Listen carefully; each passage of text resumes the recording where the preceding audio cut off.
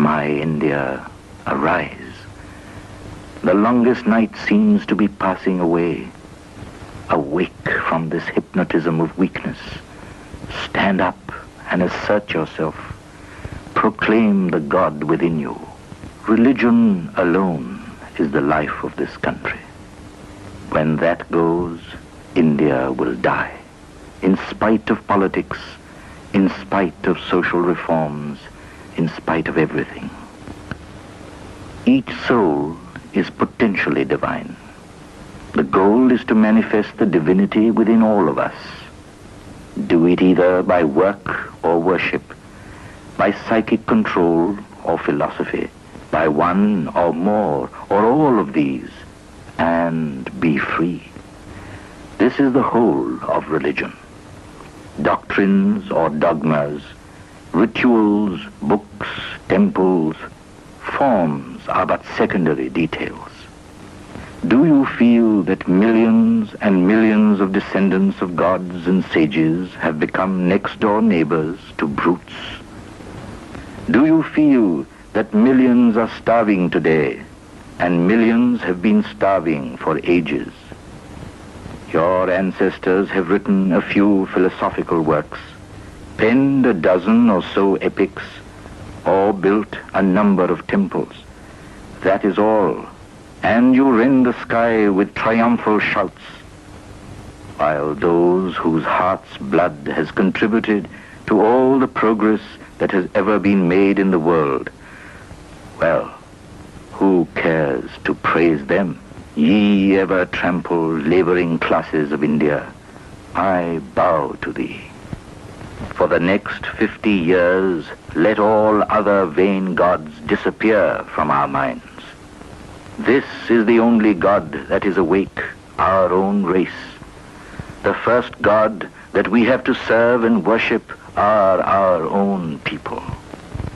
Everywhere his hand, everywhere his feet. He covers everything. सर्वतोक्षी शिरोमुखम् सर्वतः श्रुतिमल्लोके सर्वमावृत्य तिष्ठति Faith.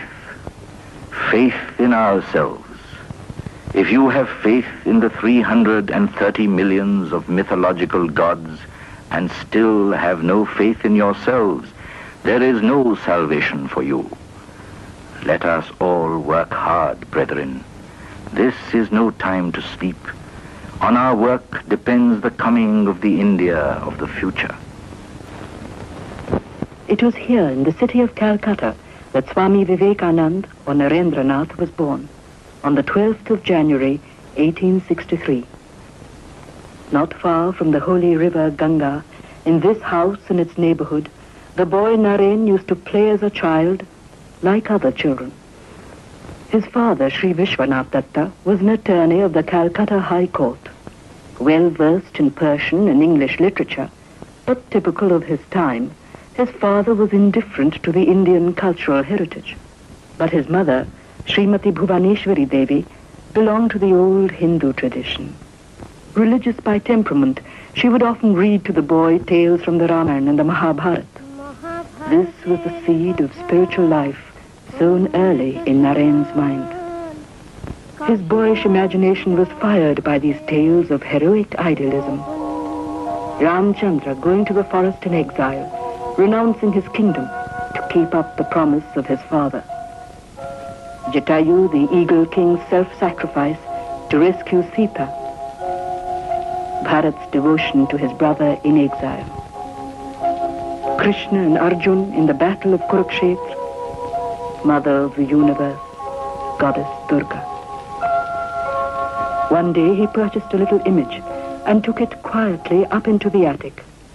A frantic search was made for the missing lad, when at last he was discovered here, sitting self-absorbed before his Ishta, chosen deity. Those days in gentlemen's homes, one would come across these separate hookahs or hubble bubbles for the different castes and for the Hindus and the Muslims. Naren was curious, and one day he took some whiffs from the hookah marked for people of the lower caste. Then he tried, one after the other, the hookah for the Brahmins and the hookah for the non-Brahmins. Men are all alike. Then why are their hookahs different? thought the young ascetic. What are you doing there, Naren? Oh, Father, I'm just trying to find out how one loses caste. But I can't really find any difference. Oh, you devil. So the boy grew up into a brave and brilliant, intellectually alert young man. Reverend Hastie, the principal of his college, who had taught Norin, had this to say about him. I have traveled far and wide, but I have never yet come across a lad of his talents and possibilities. He is bound to make a mark in life. Words that would one day come true. In his student life, he came in contact with the Western intellectual tradition through the works of Kant, Hegel, Hume, and Herbert Spencer, to whom he had once written a letter. The scientific ideas and nihilistic thoughts of Western thinkers shook to their foundation the religious beliefs he had inherited. They raised such a tumult in his mind that he despaired of any final answer. Raja Ram Mohan Rai, the founder of Brahmo Samaj, had broken away from the rituals, the image worship, and the priestcraft of Orthodox Hinduism. As an intellectually alive young person, Norin could not but be interested. He had joined the Samaj partly because of his sympathy with its program of social reforms. But this did not satisfy his deeper spiritual yearnings. Of a strong, positive cast of mind, he wanted to see the truth, face to face, and not merely hear talks about it. In those days, Keshab Chandra Sen was a renowned orator and religious leader of the Samaj. There were also men like Vijay Krishna Goswami, Shivnath Shastri, and others. They all spoke of a merciful God and delivered sermons learned and beautiful to hear. But Norin's hunger remained. The doubts lingered still. Does God really exist? If so, has he form? Or is he formless? Can he be seen? How? In his agony and despair, Norin went round the leaders of different sects in the city and its suburbs. He had a single and straight question. Have you seen God? Have you seen God? Have you seen God? But none could answer.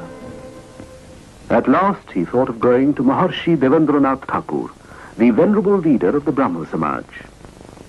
Devendranath was then staying in a houseboat on the Ganga. There went Narendranath unannounced. At the time, the Maharshi was in deep meditation when Norin suddenly pushed open the door and stood before him, agitated but respectfully. Sir, have you seen God? No, my boy. But you have the eyes of a yogi. You should practice meditation.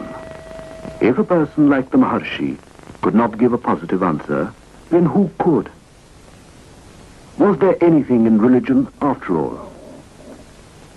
Obstinate questionings racked his youthful soul.